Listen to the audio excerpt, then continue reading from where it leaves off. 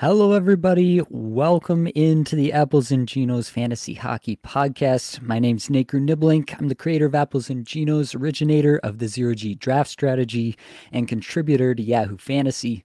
In this podcast and live stream, I'm going to go over the most puzzling players league wide as submitted by the Apples and Ginos Discord server. Let's get it.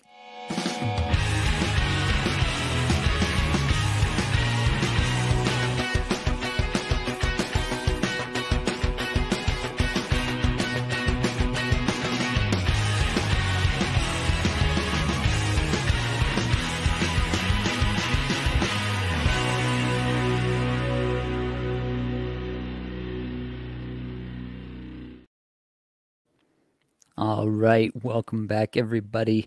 We're going to get into these puzzling players that you can see on the screen if you are watching live on YouTube, but also uh, I'm going to take a quick second and talk to you about some news and notes, some newsies from around the league.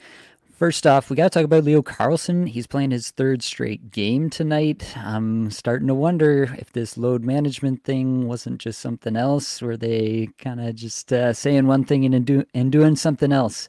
I don't know. Leo Carlsson has looked really good, and obviously, if he continues to stick in the lineup and makes it impossible for them to really force him out of it, then uh, that's going to be a good thing for everybody in Anaheim. So I'm watching that one pretty closely because I think that's a net positive for everybody everybody Mintyukov, for Terry, for Zegras, all these guys that he's playing with. So that's an interesting one for sure. Tonight we've got Sam Bennett playing back from injury. We've got Lawson Crouse back from injury as well. So that's good for both of those guys. And we've got Mike Matheson. The latest that I've seen still is that he's a game time decision. And it's unfortunate because he's playing a late game today. So you're not really going to have a great idea of whether he's going to be in or not. I know there's been some questions in the Discord already about what to do with Mike Matheson for tonight. Uh, in my case, uh, I've sat him in a spot, um, basically just kept him on IR Plus and kind of had somebody else who is a returning streamer from last week and they're playing tonight. So running with that one for tonight. Uh, if you're able to do that, then that's kind of the simple way to do it. But uh, yeah, unfortunately, a lot of people having to make a decision without a lot of information on Matheson for tonight. And lastly, we've got an Andrei Vasilevskiy sighting. And according to Coach Jon Cooper, it sounds like he's on track and they're thinking somewhere around Thanksgiving is when Andrei Vasilevskiy will be back in the Tampa Bay lineup. So that's exciting for those who drafted him, uh, especially for those who drafted him without knowing about the injury. If you drafted early and you got blindsided by it, uh, yeah, it seems like in the end it won't be uh, quite as bad as maybe you thought, and hopefully he's back to his normal self uh, sooner rather than later for all of our fantasy teams. All right, well that out of the way, we can move on to the puzzling players. Puzzling players are voted on, as I mentioned, by the Apples and Ginos Discord server. I put out a call in there every single Monday, and I tell people to kind of vote for, or give a thumbs up to the players that they're most interested in hearing about. So this is kind of a little bit of a democracy here about which players are the most puzzling to the most people, and that's what we go through every Monday here at 8 p.m. EST. And the number one player was Alexander Barkov, uh, which was a little bit interesting to me. I honestly, personally, have not really had any qualms about Barkov to speak of. Uh, he's got a goal and an assist tonight, so maybe the qualms that some people were having have gone away already. You can see he had four points in his last four games uh, on the screen here if you're watching live. Uh, the metrics weren't great, but I was never really concerned about him, to be honest with you. It never even really crossed my mind to be concerned about him. And definitely, yeah, you see a goal and an assist tonight already. This game is, uh, yeah, just starting in the second period here. So he's doing it already tonight, and I have no concerns about Barkov. You know, for these star players, I I'm never going to get too excited one way or another.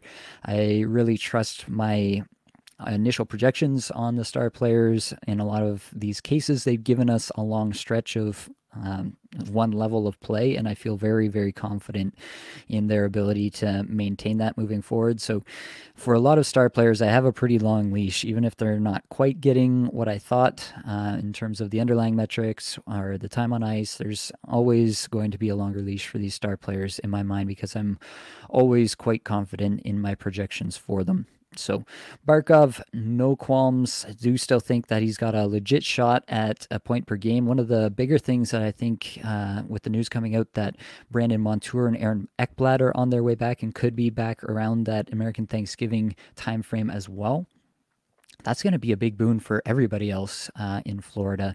Sam Reinhart surely hasn't uh, felt those effects, but maybe somebody like Barkov at just a point per game till tonight.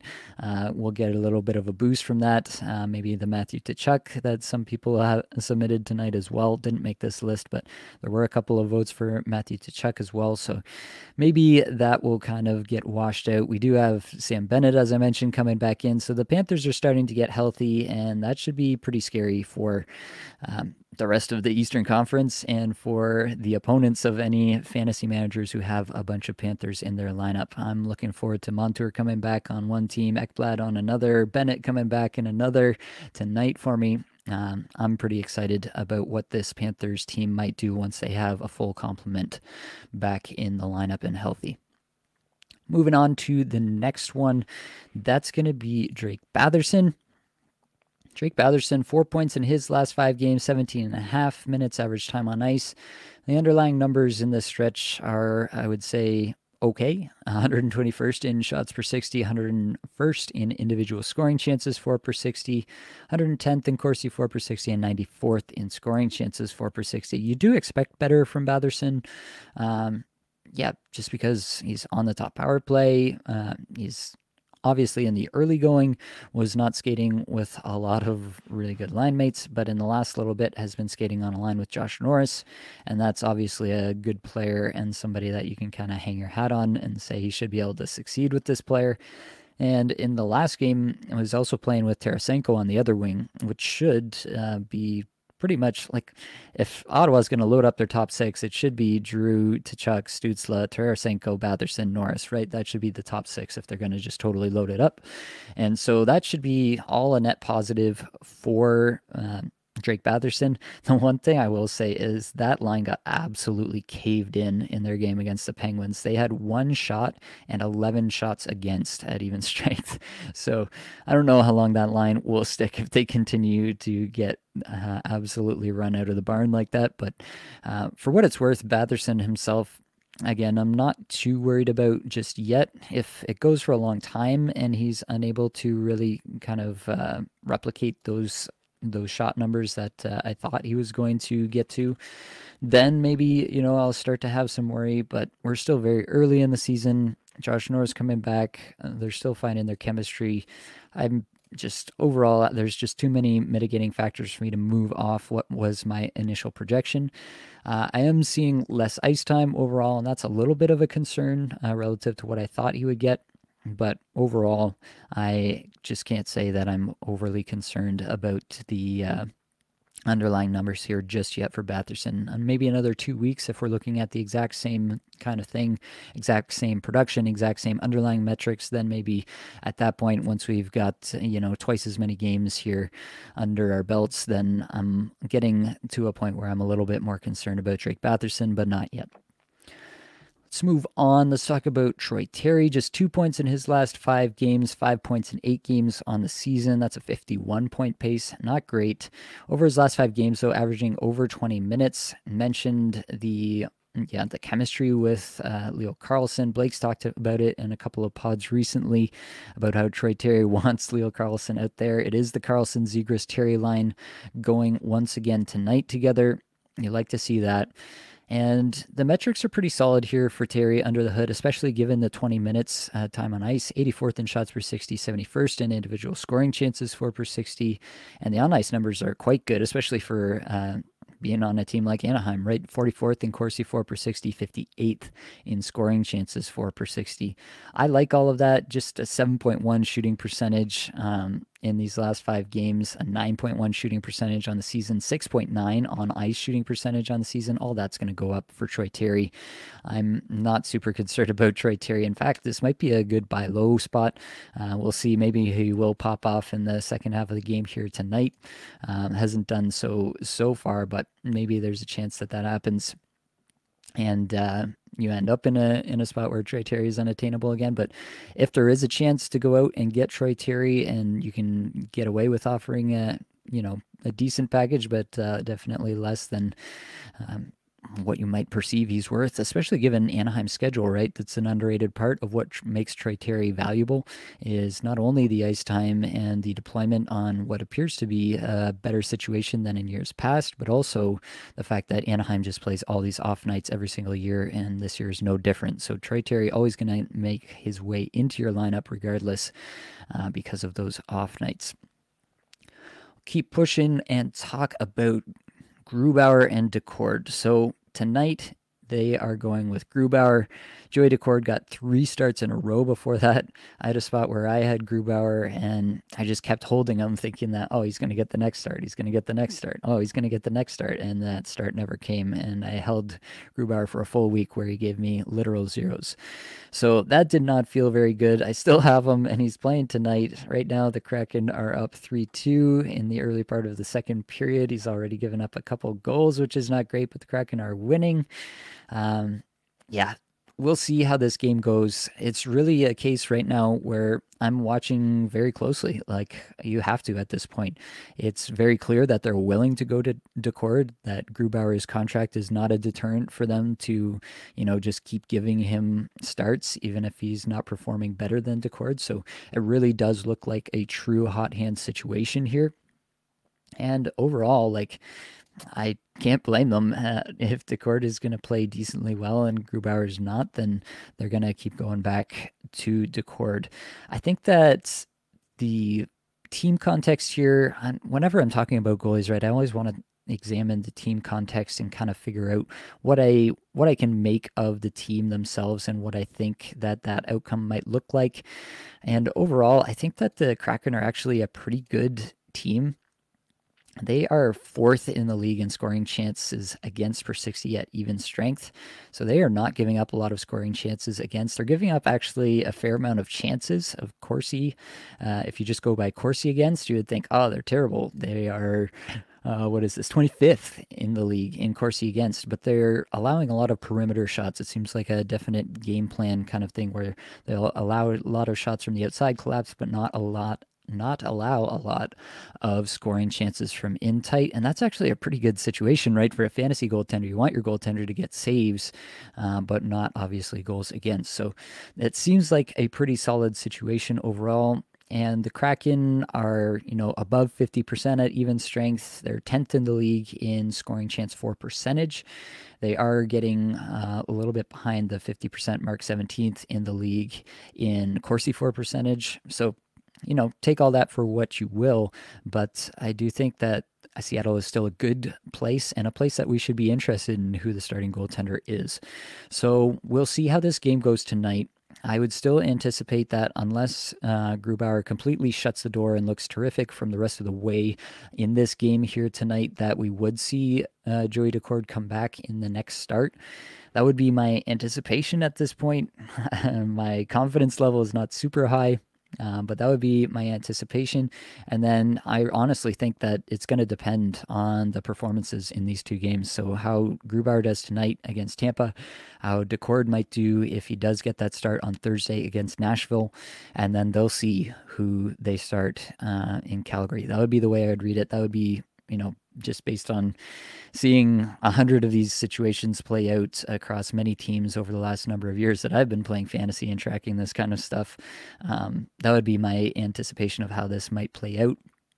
We'll see if it does, but that would be my guess. And so I will watch Grubauer in the spot where I have him tonight. I'll watch how this game goes. If it goes well from here on out, then I might consider hanging on to him if I've got other players that I can drop and make moves with. You know, I've already made a couple of moves in that league where I have him uh, for the start of the week here because I had to get some streamers. It's a highly competitive league.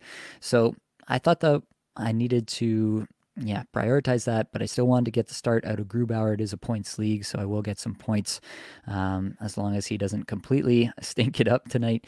So that was how I decided to play that, and I'm still deciding on whether I'll continue to hold him kind of just based on his performance in this game here tonight. And the same kind of goes for Daccord. I'll wait to get confirmation that he's going to start on Thursday. You know, if Grubauer got absolutely destroyed in this game um, from here on out and allowed like seven goals in the end, then, you know, I might rush out and grab Daccord because it's going to take a little bit more trust uh, for Grubauer to get back from that. And at that point, I might anticipate that there's a pretty strong chance that Daccord is going to get both the Thursday and Saturday games this week. And like I said, I do think it's a situation where the goaltender is a valuable piece to have. So that's a long winded way of saying I'm just monitoring the situation very closely, and there's a lot of contingencies and things I might do uh, differently depending on the result of both this game and the potential starter for the Thursday game. Williams in the chat. Hey, William, is it time to drop Tyler Bertuzzi? Um, on one hand, yes, because it's not a terrific uh, spot that he's in overall. You know, in the last five games here, you can see just over 16 minutes, just a couple of points. Underlying metrics are okay, but definitely not inspiring for fantasy purposes. He's only got three points in eight games on the season. The one thing that is giving me pause is that the Leafs have a terrific schedule for next week. And so that's the part that's really got me uh, kind of wondering whether I should be hanging on to that um, and how much stock I should be putting into that next week's schedule. For this week, the Leafs play uh, tomorrow night, Tuesday night uh, against the LA Kings. That's an off night, so that's one that you're definitely going to fit in. But then they play Thursday and Saturday, which are both pretty heavy nights. You're actually kind of unlikely that uh, Bertuzzi is going to get in your lineup for those two games. So then you're sitting him for quite a long time before you get him back in for next week. So I might be a situation in which I hang on to him for the Tuesday game tomorrow and then uh, kind of see how that goes. If he you know, if it's a nothing game once again, I might drop him at that point and then reevaluate if he's a player that I want to re-add for you know Monday next week when the Leafs do have a Monday, Wednesday, Friday schedule to start the week, all off nights, three straight off nights to start the week that's definitely something that you're going to be interested in. So, uh, you know, it obviously depends on who else you have, who else you can drop. Um, if there is somebody else that's uh, similar to Tyler Bertuzzi, then maybe this schedule for next week is a little bit of a tiebreaker for you. You can use it that way. But overall, if you're looking for permission to drop Tyler Bertuzzi, you absolutely have permission. He is not playing particularly well. And it's honestly not a player that I had a huge projection on because I think the Leafs really do have a defined role for this player. Um, similar to Bunting, you know, right now Kelly Jarnkrok's on the top line with Matthews and Marner, and it's Bertuzzi on the second line with um, um, Nylander and Tavares. And honestly, that's almost been a better spot to be at even strengths uh, through the early going here with how hot Nylander and Tavares have been. But overall, I just don't think that you're ever going to see much more than this 16 minutes a night from Tyler Bertuzzi. And is that enough to sustain you in weeks where the schedule isn't all that great? I don't know. So that's where I'm at with Tyler Bertuzzi. I think that. Uh, I think that it is definitely a player that you have permission to drop for this week if you need the spot. All right, let's keep talking here about Chris Letang. Letang is a player that I was very high on uh, relative to a lot of people coming into the season. I thought that there was a really strong chance that he was going to stick on the top power play. That's not been the case through the early part of the season. He still does have five assists and five total points in eight games on the season, but just two in his last five. Still skating about 24 minutes and 45 seconds a night through this last stretch of five games. The underlying stats are not terrific, but still pretty good. 50th in shots per 60 amongst all defensemen, 35th in Corsi 4 per 60, 64th in scoring chances 4 per 60. So still pretty useful player overall and definitely chris letang is one of those guys who gives you those banger stats and that's what you really like about what he brings to the table along with that offensive upside.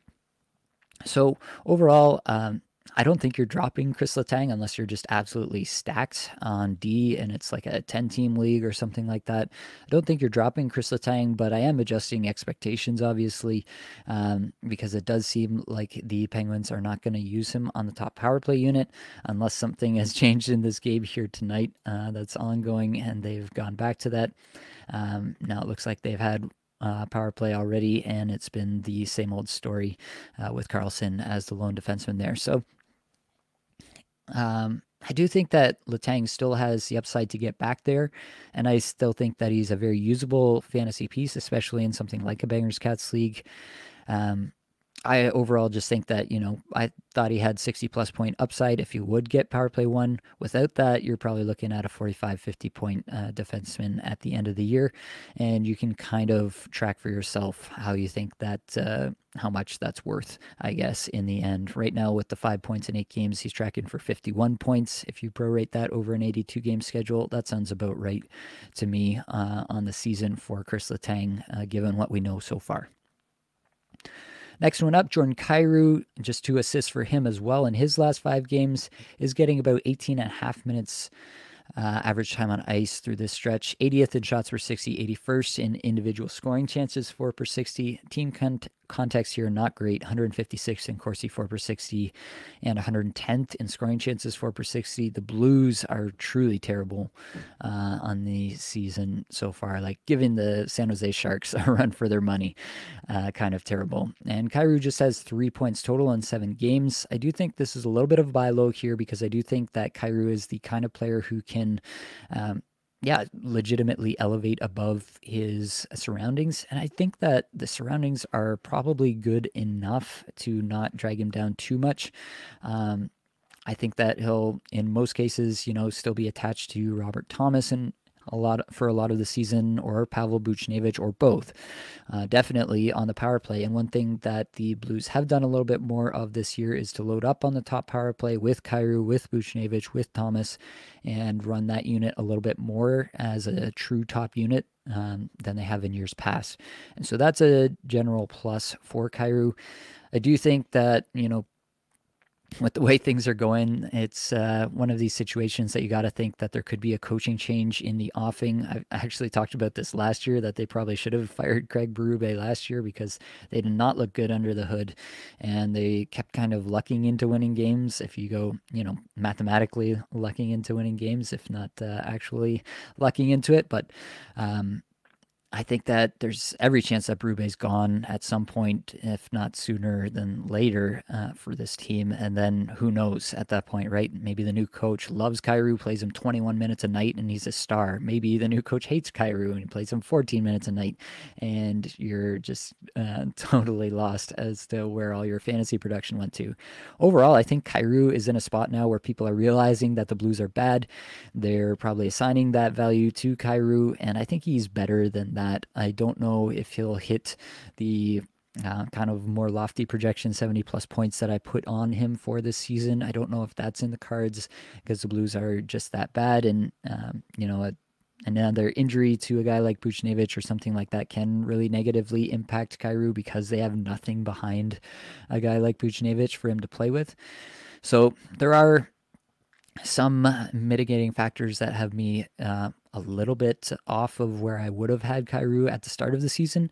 But overall, uh, I'm going to bet on the talent, bet on the player here. And I think that Kyrou is all that uh, in terms of the talent. So still think this is a really talented player worth rostering, worth kicking tires on, um, especially in weeks where the Blues have a good schedule like this week.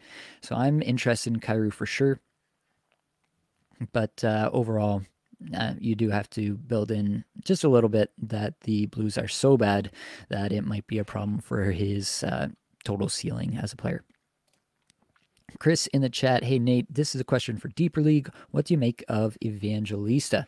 Luke Evangelista over in Nashville has been getting some run on the top unit over there, the top power play unit that's a good spot to be. No two ways about that. Um, getting that over Tommy Novak is a little bit of a surprise, but definitely a good surprise for Evangelista. It's a good spot to be. Roman Josi, Filip Forsberg, Ryan O'Reilly, Tyson Barrie, those are all legitimate players on a top power play unit. And Luke Evangelista just kind of uh, being there, even if he's only there along for the ride, is not a bad place to be whatsoever. Uh, so you like the deployment for sure. Is he going to get enough minutes in the last five games? He definitely has been nearly 17 minutes a game over the last five, and he's got five points in his last five games. So he's definitely feeling it a little bit there. Uh, the underlying metrics are not terrific, as you'd probably expect. 128th in shots per 60, 105th in individual scoring chances, 4 per 60, about the same range for the on ice stats as well, despite the power play deployment.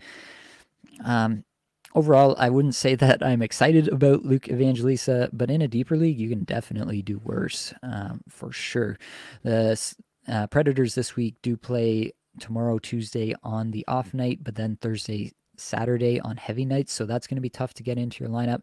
I'm not sure if I'm running out to add Luke Evangelista to then sit him for Thursday, Saturday.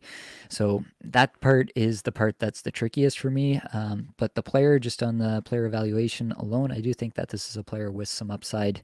Um, and you have to love the deployment. So if you're in a deeper league, if you're in a spot where you really do need someone to just fill out your roster, then definitely Luke Evangelista is someone that I have some optimism for given his current deployment. Ricky Garcia asks, Are you optimistic about Hronek? His situation feels similar to Toews Makar and so far is putting up decent numbers.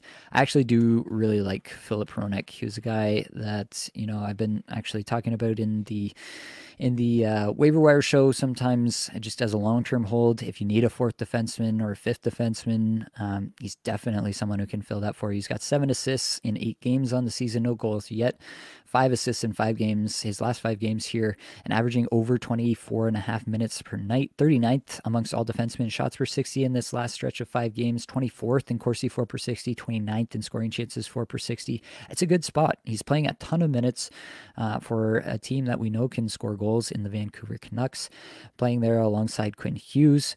I am pretty bullish, honestly, on Hronek as just a guy yeah, very similar to Toews. Uh, I think it's a really apt comparison to make. Uh, Toews and Makar, Quinn Hughes, and Filip Hronek here.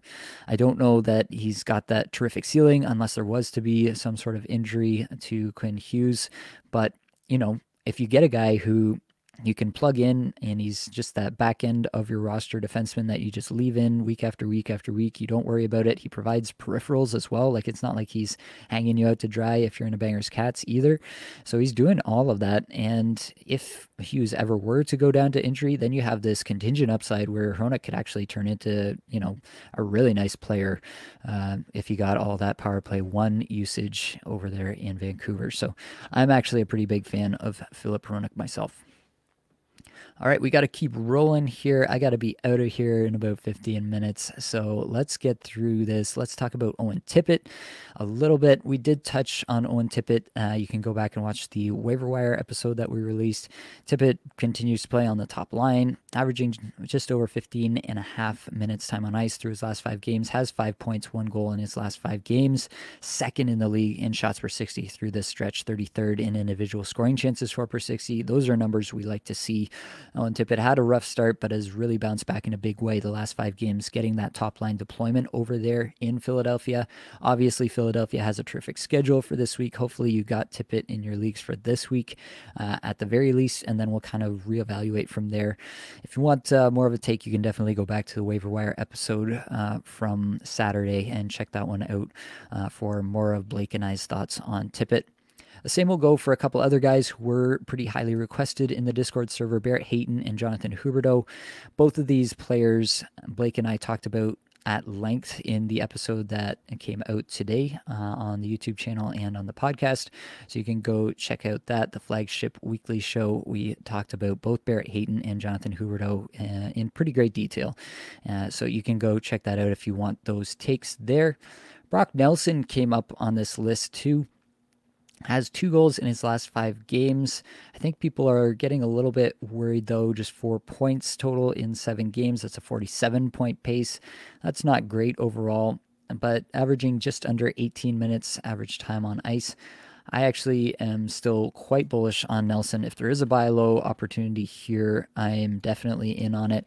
You can see here Brock Nelson over this last uh, stretch here, 10th in the league in shots per 60. First in individual scoring chances, 4 per 60 is Brock Nelson.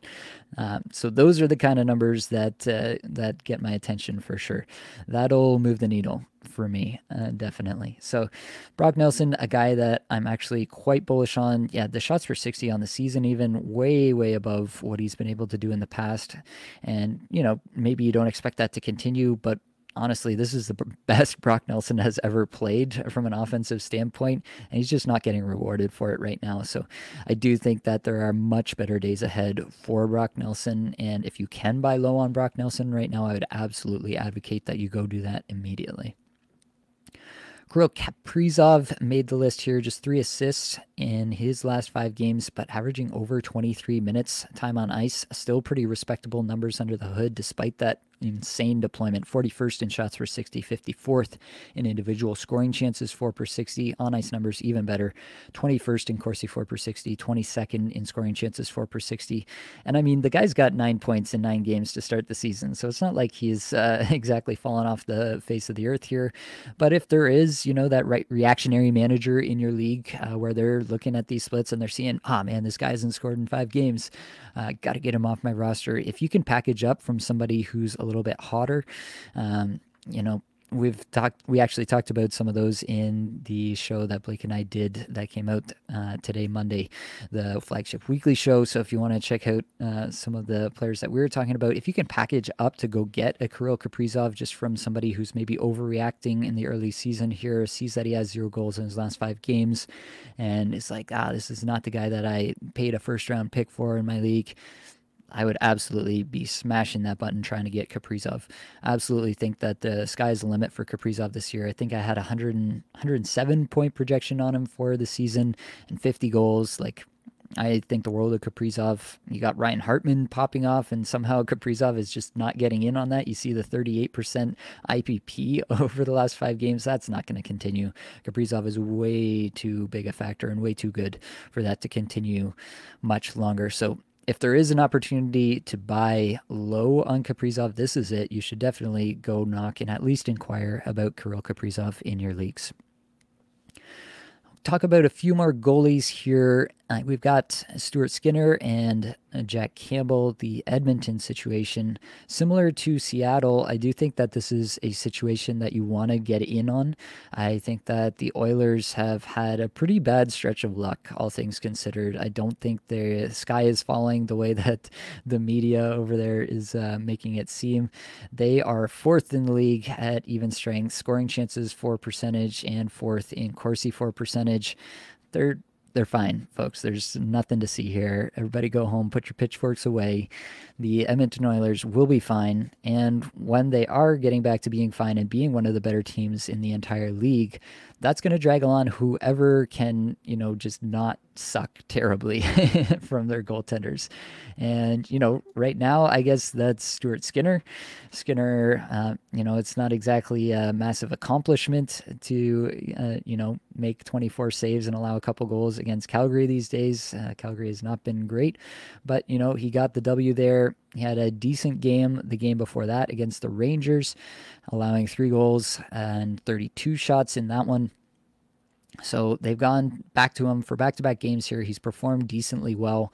I if I'm picking between the two, it's definitely Skinner at this point. And I did go out and uh, grab Skinner in a league where he was dropped. So I definitely think that if he is out there, if somebody's um, kind of reactionarily dropped Skinner, then he is kind of a priority ad because this is a goaltender on a good team, and that's really my my biggest criteria for picking up goaltenders is is the team doing something that I can get behind? Is this guy potentially going to get volume there? If both of those boxes are checked, then that's definitely a player that I want to have and I want to hang on to for as long as it works. And then you know if it doesn't work out, I'd picked up Stuart Skinner off waivers. If it doesn't work out, I will drop him back to waivers and I'm not going to think twice about it. So that's the beauty of Zero G at work. And we'll hopefully see Stuart Skinner go on a big run here and make this waiver pickup by myself look truly incredible. Hopefully that's what happens. I don't know. We'll see. I don't have you know, really any confidence in either Skinner or Campbell, but right now it's Skinner for me, and uh, we'll see where it goes from there. Jacob Markstrom, the other one that was mentioned here to talk about. It's not been a great situation, uh, obviously. Once again, uh, Blake and I did talk about the Calgary team situation as a whole, uh, again, at kind of at length in the episode, uh, the flagship episode that came out today, Monday. So well, I won't rehash all of that, but basically, I do think that there should be, by the math, better days ahead for Calgary as a team. There does seem to be some bad vibes around it, but I do think that in general we're kind of double counting just because of what last season was, and it seems like it's the same old story this season. Obviously, there's a new coach in town, things are different, but the results are the same, and that can be frustrating. But I do think that you know they'll get things untracked um, to some extent. I don't think this is a upper echelon team in the league by any stretch, but I do think that this is should be like a bubble playoff team, and that a goaltender there should provide some value. I don't think Markstrom has honestly been that bad overall. He's got a 901 save percentage. Um, earlier in the season, he was doing a little bit better. He's trended down slightly over the last little bit, uh, but the team has also trended down in that time. So I think he is just kind of dependent on the team. I think he's just probably not a netminder that's going to vastly out. Uh, exceed his team's performance at this stage. So that's the kind of problem, if there is one with Markstrom, is you're a little bit dependent on how the team's doing. The team's cold right now, so Markstrom is going to be cold. Um, you know, I don't actually personally have Markstrom anywhere. He always seemed to go a little bit ahead of where I was considering um, making a draft pick on him. That being said, um, if I had him, I think I would still continue to hang on unless there was like a priority ad. Like if uh, Grubauer really uh, yeah, if he self destructs in this game against Tampa Bay here and Daccord starts to be like, okay, this guy's definitely going to get some run here, then maybe I would consider that because that would become kind of a priority ad as a goaltender. So that's kind of the only situation is if there's somebody else out there who like is a a clear rising player, uh, getting a ton of deployment and on a better situation. That's the only situation which I'm probably thinking about dropping uh, Jacob Markstrom. So let's keep rolling and talk about Evander Kane. Uh, Kane, one of these players who seemed to kind of oddly uh, benefit from the Connor McDavid injury. He went on a little bit of a heater here, five points in his last five games. Nice little stretch including a pretty big game uh, yesterday in the uh, out- outdoor game that they played there, averaging over 18 minutes per game, still doing what he normally does 32nd in shots per 60, 52nd in individual scoring chances, 4 per 60. The interesting thing will continue to be where he lines up at even strength in this last game uh, on the left wing with Ryan Nugent Hopkins and Zach Hyman. That's a good spot. Not going to be mad about that if that's where he sticks, but he's never going to be a top power play player in my mind unless, you know, there is an injury to Zach Hyman or Ryan Nugent Hopkins or somebody else and he gets back up there that way. Otherwise, I think it is probably a situation where Hyman will continue to see all of the power play one work uh, for the rest of the season. So take that into account. That's what I took into account when I was building my projection on Evander Kane. I think he's had a nice little stretch here in, you know, in Bangers Cats. He's going to do that for you. He's going to hit a ton. He's going to shoot a ton provide all those categories for you, but you can't expect big, big numbers from Evander Kane. He's never really been that guy. Um, he's never really been that 70 plus point guy. So I don't expect him to be that here unless he were to get on the top power play for an extended stretch due to injury or some other reason. But you do still have that contingent upside with Kane. So overall, I think the player is what he is. He's probably exactly who you thought he was when you drafted him at the start of the season. Um, and I don't see any reason to really deviate from that moving forward. Elias Lindholm was another player brought up in a lot of spots. Obviously, going back to the Calgary situation, don't need to rehash all of that, but Lindholm just one goal in his last five games, no assists, skating just under 21 minutes a night, so he's getting tons of deployment. Under the hood, the numbers are not great 148th in shots per 60, 161st in individual scoring chances, 4 per 60. On ice numbers, not much better 126th in Corsi, 4 per 60, and 159th in scoring chances, 4 per 60. On the season, he's got six points in nine games. That's a 55 point pace. I think that, you know, he'll probably do a little better than that, but I don't know that we're talking about the Elias Lindholm of old who was pushing a point per game and doing all of that. I think we might be looking at uh, an Elias Lindholm who's in the 65 to 70 point range at the best of times. Um, the deployment is great, um, I will say, and I do think that Calgary will have a little bit of a rebound from their current status. So I do think that he's going to come up from the current 55 point pace on the season, but will he come up uh, really beyond the point where he's like super, super fantasy relevant? I'm not super convinced. So Elias Lindholm someone who's definitely decreased a little bit in my eyes, just given the struggles going on there in Calgary so far. Nico Hischier is an interesting one. Obviously, the Devils have kind of moved around some things. Nico Hischier, at least outside of injury, has continued to uh, kind of cement a spot on the top uh, power play there. And it does seem like he'll be back in. So you don't really feel too worried about Nico Hischier being out long term with his current injury. Uh, all that said, you know, there is always that nagging wonder in your mind. This last game, they went with the Toffoli, Meier, Bratt, Hughes, Hughes top power play, and they netted two goals. So what if they just decide, hey, that actually really worked. We don't need Nico Hischier to play all these uh, power play minutes, and we can still get terrific production from this top power play. What if they decide that Nico Hischier can just uh, sit there on the second power play unit? That would obviously be a huge hit to his production and Nico Hischier is not a guy who has terrific underlying stats ever. Uh, he has good enough stats and pretty great deployment on a good team, good offensive situation, and that's kind of how he comes to his fantasy relevance. So overall, Nico Hischier is not someone I'm just ever going to be super excited about. And um, yeah, maybe maybe there is like a little sell window if he comes back and has a good game when he does come back. Then there is a little bit of a sell window where you can move off him. But you know the early returns have not been great. He's only got two goals, no assists in his first seven games. Um, I'm not worried about him, you know, just being completely terrible for the rest of the season. But I have some some qualms just given how the season has go has gone. Like I said it openly at the beginning of the season. I thought there was no chance that Dougie Hamilton got moved off the top power play unit for Luke Hughes. That's happened very early in the season here. So who's to say that it couldn't be Nico Hischier next? Um, definitely not me. I wouldn't. Uh, I wouldn't dream of of saying that given what's gone on in New Jersey so far this season. So there is that little bit of a worry. I don't know how big of a worry that is for me personally, but you know, in the end, you have to you have to come to some sort of decision on the player and maybe the ceiling here is is not quite what you had hoped for you got to think that though um, just given the offensive acumen around him that he's going to be fine. Uh, I don't think you need to sell low if that's what the case is. If someone's just looking at the the points they scored so far, you don't need to do that. If you do want to sell, then I would wait until he inevitably has a stretch of good games once again, and then I would move off of him at that point. But I don't think you need to rush out and get rid of Nico Hischier if you can sell him just based on name value and the fact that you know, oh yeah, he's going to go straight back to power play one, and the Devils are crushing as a team. If you can sell him based on that, and you feel like you just don't want to be a part of that situation, then I won't blame you. Um, but that's where I'm at on Nico Hischier. Just not a super exciting player for me by any stretch.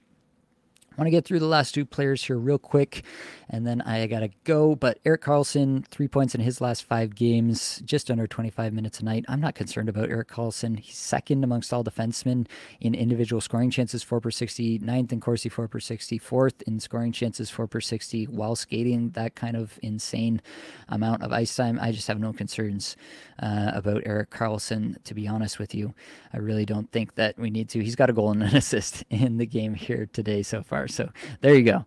No worries about Erik Karlsson, and he should get back to doing what he does, and that's scoring a boatload of points. Roope Hintz is another player that has come up. Four points in five games so far, has battled some injuries. 16 and a half minutes average time on ice is the real concern because under the hood, he looks really good. 14th in shots per 60, 16th in individual scoring chances, 4 per 60. On ice numbers, not quite as good. 59th in Corsi, 4 per 60, 42nd in scoring chances, 4 per 60. Uh, overall, I'm not too concerned about Hintz the player. The deployment is a little bit concerning. It seems like Dallas is doing this a little bit, making a little bit more of a concerted effort to not overwork the top players, which is a little bit baffling to me, to be quite honest. But um, that's something worth monitoring. But I'm not worried about Roope Hintz And, uh, you know, Baby Dry is a guy that I'm always going to stand behind. So overall, I'm not worried about Hintz. I do think he's going to be a point per game player when all settles at the end of the season. All right, we got through it all. So that's going to be all that we've got for this episode. Hopefully, it brought you some value, helped you get a little bit better at fantasy hockey today. If you like the advanced stats and that focus that you saw here today, then all those stats came from Natural Stat Trick. You can go check that out. It's a terrific free resource. Many thanks to the band. They're there for supplying the music for this podcast. Be sure to check out their Spotify as well. That's it, folks. Much love.